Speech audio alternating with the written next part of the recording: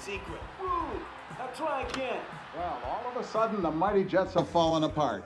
You guys have allowed 236 goals in the last three games. That's abysmal. Atrocious, crummy, disastrous, despicable, execrable, god-awful, horrible, ignominious. Hey, we'd be doing a lot better if our goalie wasn't dead.